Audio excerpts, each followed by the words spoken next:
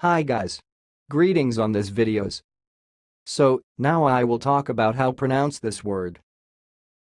So let's start. Awlgripped. Awlgripped. So I will repeat again, but a little bit slower. Awlgripped. Awlgripped.